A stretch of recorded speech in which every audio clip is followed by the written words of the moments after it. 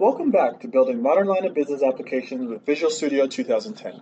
My name is Orville McDonald. I'm a product manager on the Visual Studio team. And to do a quick recap of what we've shown in the previous parts of our presentation, we started off with um, File New using the Silverlight business application project type. We went through, we started creating our business application by using the designer to add uh, data grids, displaying details for customers. We added some paging. However, now that we have details and paging and we're able to get all that information up and we're displaying it well, the next thing we need to do is the ability to save data, or more appropriately, update the data and save it. So what we're going to do now is we're back in our customer details, and I'm going to add a few controls. So let me start with a grid. I'll just do a little sizing to get it on there. Uh, add two columns because we're actually going to have two buttons because we're going to have uh, add two pieces of functionality. The first thing we're going to do is we're going to add uh, the ability to save information.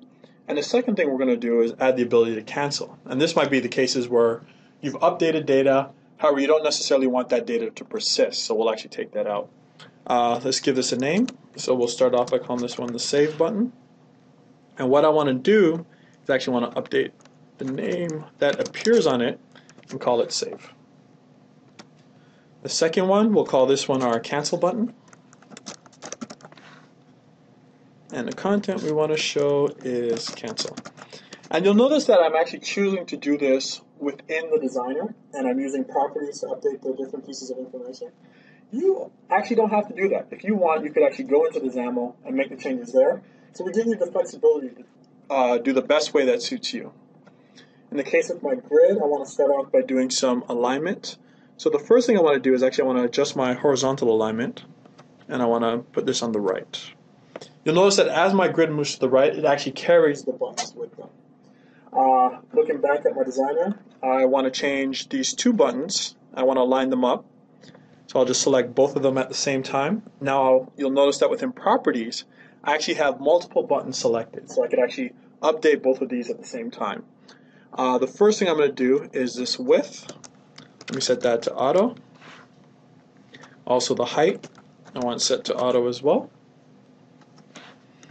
With my horizontal alignment, I want to stretch it. And also with my vertical alignment, I want to stretch that as well.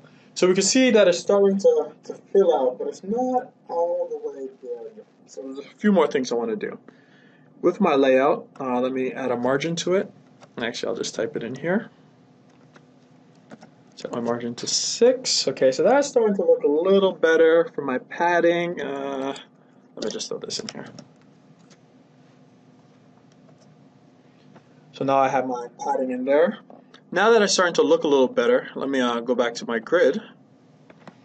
So I've now selected my grid, and let me change the width here also to auto. And then for my height, let me do auto again. It's getting a little closer. Uh, what are some other things I want to change with it? So I have my horizontal alignment to right, and I have my vertical alignment to top. That's actually starting to, to look good. And actually, I want to do one more thing. I'm going to move that to up here. Great. So I have that starting to come into play. So I've updated my designer. We see that now I have a grid, I have my two buttons, but now I need to bind them so they actually could go and do something. So the first thing I want to do is actually want to start with my save button.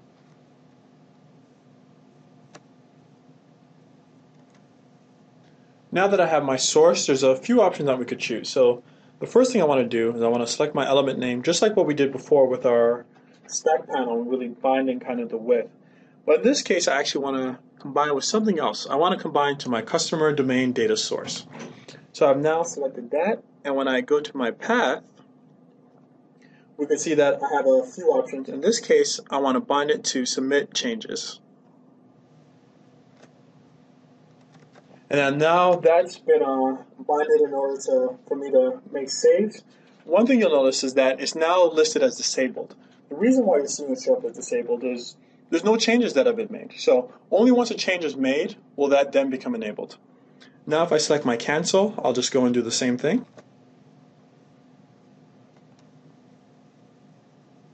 So what we're going to do now is actually pretty similar to what we did before. Except in this case, instead of choosing the submit, I'm actually going to choose the reject.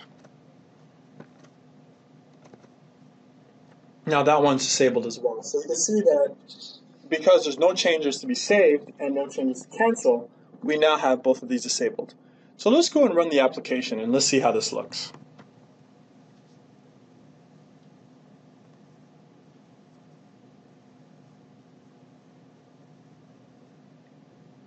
So now we have our application up and running just as we've seen it before. We see that we have a list of company names, we have paging that's supported.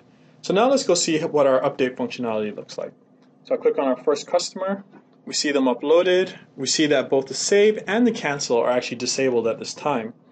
We see that they're in Berlin, but let's say I change that to Munich. Tab out, we notice that both my save and my cancel are now enabled. I click cancel, it automatically converted back to Berlin. So this time, let me commit the change. So I'll call this Munich. Tab out, see I have save and cancel. This case, I click save. And we can see if I go back to my customer list, go back to this company, we can see that it says uh, Munich. And then once again, if I type Munich and I tab out, you'll actually notice that my save and my canceled are still disabled right? And this is one thing I really want to underscore is that one of the great things about this is that it's smart enough to know that just because you edited a field, if you didn't actually make any changes, there's nothing actually to save. So it keeps those disabled. It's only when you make an actual change that you have to update that. So if I go in and I type Berlin instead of Munich, tab out, once again we see save and canceled are now enabled. So in this case, I'm going to save Berlin back go back to my customer list. So we can see that we've actually just gone in and quite easily added the ability to update data within our application and also got some additional rich functionality that we could use. So in this case, now that we've updated data, now let's go and add some validation to it. As part of validation, we also get some really cool things. And uh, that validation is based partially on the data that's within our system. So for example, let's go to a postal code. So within our database, we know that postal codes can only be 10 characters long. So if I take this one, and let's say I make it even longer, and I tab out, we notice that now I actually get an error. And you'll notice that the text box where the postal code is is now in red. And I put my mouse over it, it tells me that the field postal code must be a string with a maximum length of 10. And that's because it knows within the database it could only store 10 characters. And that's some free validation that we end up getting. So if I go back here and I click cancel, we see that it goes back to the original information. Now, another thing that we could do too is we could actually declare our own custom validation rules. And we'll actually give that a try right now. So as I close my application, we'll go back and this time we're going to go back to our metadata file. So here we have it. And in this case, what we want to do is we want to make sure that all fax numbers conform to US fax standards. Not saying that you'll do this for your application. You may want to use different formats depending on where in the world you are and what it is you're trying to do. But in this case, we're just going to focus on that. So if I go through and I add a code snippet, and the thing to note is that this is a regular expression that was just taken off the internet. You could create your own regular expressions, or you could go online and find different ones to use. Now that we have this added into our code, I want to point out a few things. So the first is that you have the regular expression here. We also have the ability to add our own custom error message, which has also been included. So now that we have this information, the next step is let's run our application and let's see this regular expression in action.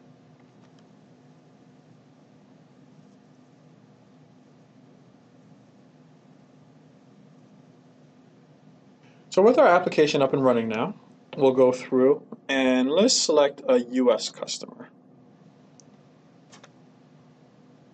through here, scroll a bit. So let's pick on this restaurant. You can see here that they have their fax number. And what I could do now is let's just add a non-conforming US fax number. As I tab through, we see once again, I get my text box in red as I mouse over it, it indicates to me only US fax numbers supported. And this is actually the error message that I had written before as part of my regular expression. And I'll cancel that one out now. So thank you for joining me for this part of our presentation, and I hope you join me for the next and final part where we discuss authentication and personalization within building a modern line of business applications.